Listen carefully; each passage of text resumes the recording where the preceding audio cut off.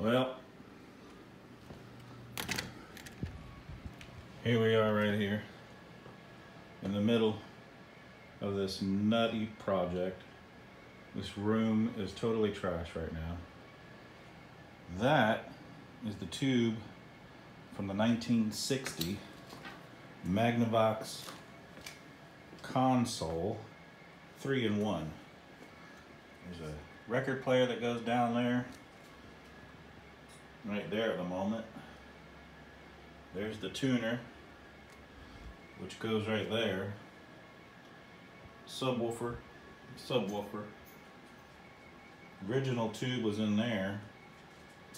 I've obviously gutted the whole thing. Tried to clean it up. There was some rotting at the bottom, but overall not too shabby. I tore apart the board which is bad. Took all the tubes out. Probably hold on to them or flip them on eBay or something.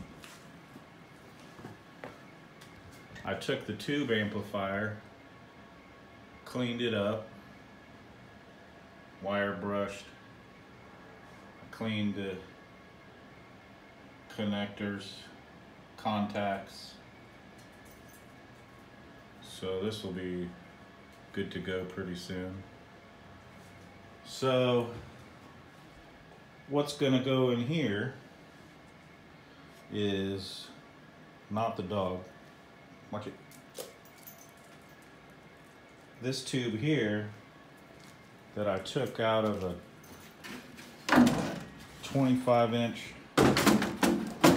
Samsung that I got today for free on Facebook because people can't give these things away. So I took that beast apart, cleaned up this circuit board, got it all nice and pretty.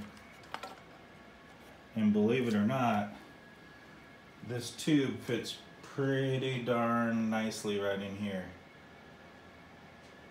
Which I'll show to you after I get my tuner all cleaned up, I ordered some more contact cleaner. I ordered some blue LEDs that replace these little doohickeys. There was two of these that light up the